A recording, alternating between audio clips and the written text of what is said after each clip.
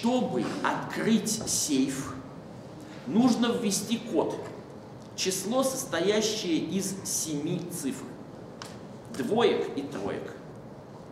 Сейф откроется, если двоек, цифры двоек, больше, чем троек, а число делится и на 3, и на 4. Что? 2, 2, 5 двоек подряд, 3, 2.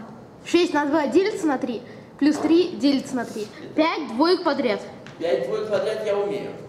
3, Да, 2. 2.